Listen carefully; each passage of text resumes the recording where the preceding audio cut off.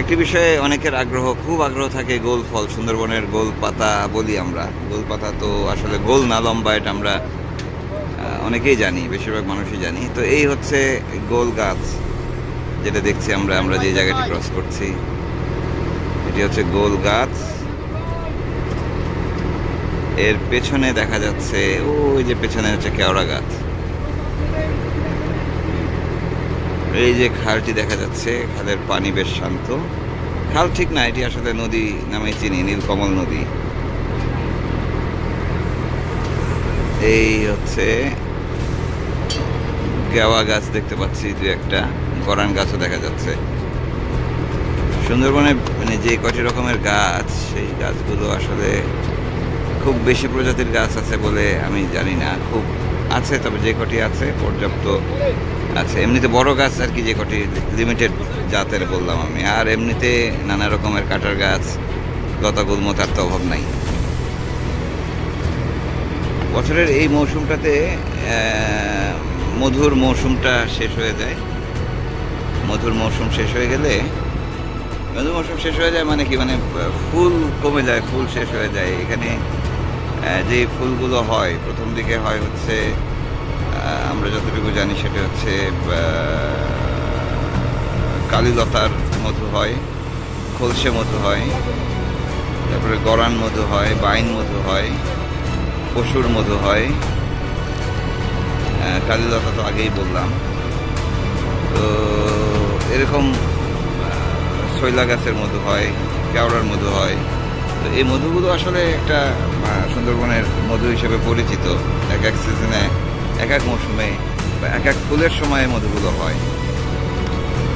যাই হোক, দেখছি সুন্দরবন নীলকমল নদী।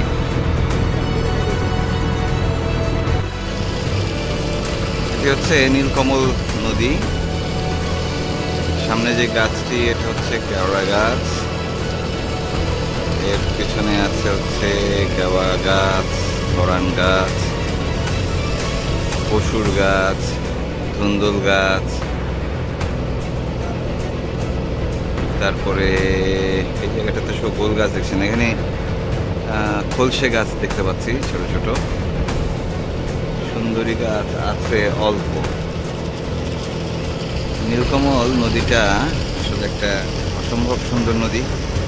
এখানে চলাফেরার সময় হরিণ দেখা যায় কুমির আছে কুমির দেখা যায়। অবশ্যই পাশের যে ছোট খালগুলো আছে এই খালগুলোতে আহ, ঢোকা হয় না সেভাবে।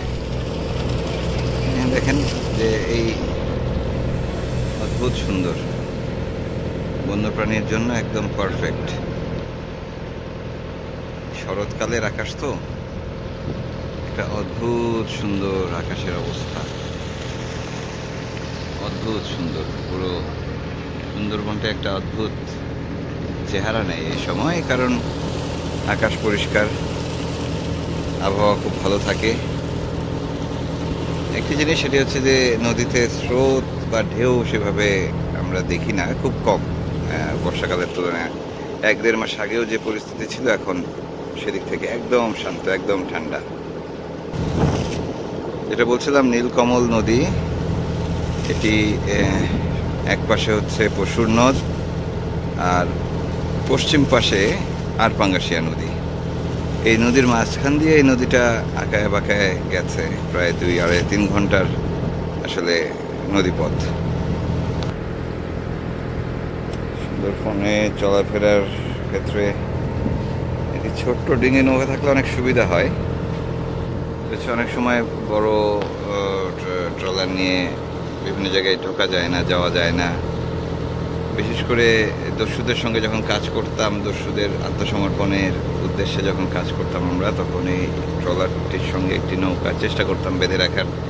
কারণ যেগুলো মাঝারি বা ছোট দস্যু বাহিনী, সে তারা যে অঞ্চলগুলোতে থাকতো, সেখানে এই ট্রলার নিয়ে আসলে এত বড় ট্রলার নিয়ে ঢোকা মুশকিল হয়ে যায়। তো সেক্ষেত্রে এই ধরনের ডিঙি নৌকা আমাদের খুব খুব কার্যকর একটি জিনিস ছিল। এবং সে, এটি দিয়ে খালের একদম ভেতরে, ছোট ছোট খালের ভেতর দিয়ে চলাফেরা করা, এগুলোর আসলে সুবিধাটা পাওয়া যায়। কিন্তু যখন বর্ষাকাল থাকে, তখন এই ধরনের নৌকা, ট্রল মানে এই ট্রলারের উপরে নিয়ে আসতে হয়। তাছাড়া ঢেউয়ে সেটি ভেঙে যায়, ছিঁড়ে যায়, ডুবে যায়। যাই হোক, যেটি বলছিলাম, এটি হচ্ছে নীলকমল নদী। নীলকমল নদীর এখান থেকে কয়েকটি খাল বের হয়েছে। একটি চলে গেছে সোজা হিরন পয়েন্টের দিকে। একটি গেছে এই- প্রান্ত বলেছিলাম যে আরপাঙ্গাশিয়া নদী। আর এক প্রান্ত গেছে হচ্ছে কলাতলা। কলাতলা আছে, চান্দাবুনি আছে, বন্দে আছে। এটা যেটি বললাম, বালির গাং। দক্ষিণ পাশে আছে বঙ্গবন্ধু চর। আরেক পাশ, উত্তর পাশ দিয়ে ঢুকে গেলে এটি চলে যায় কাগা কাগা নদী একটি আছে। সেখান থেকে হংসরাজ নদী দিয়ে একেবারে চলে যাওয়া যায় বাটলো নদীতে। বাটলো নদীতে বেশ কিছু খাল আছে ঝাইলোর খাল, এবং আরও উত্তর দিকে গেলে সেখানে খুলনার খুলনার বাইকগাছা কয়রা এই অঞ্চলের বন, সুন্দরবনটা পাওয়া যায়। খুলনা রেঞ্জের মধ্যে পড়েছে। এখানে খুব সুন্দর সবুজ সুন্দরবন, সব রকমের গাছই আছে দেখতে পাচ্ছি এখানে। সুন্দরী আছে, কেওড়া আছে, গরান আছে, গেওয়া আছে, বাইন আছে। আবার গোলপাতাও দেখছি। তো এই খালগুলোতে মাছ ধরা নিষেধ, মাছ ধরা সেভাবে হয় না, চুরি করে হয়তো কেউ ধরে। এই যে ছোট খাল দেখা যাচ্ছে, এ ধরনের ছোট খাল হচ্ছে মাছের থাকার জায়গা। মানে যে তাতিনা মাছ, সাদা মাছ যেগুলো, সেই মাছগুলো ছোট ছোট খালে যে মুড়োগুলো মুড়ো বলে এখানকার মানুষ মানে গাছের গোড়াগুলো, মরা গাছের গোড়াগুলো শেকড় বাকড়ের ভিতরে লুকিয়ে থাকে। যাই হোক। নীলকমল নদী আমরা দেখলাম। এরপর হয়তো আরও একটি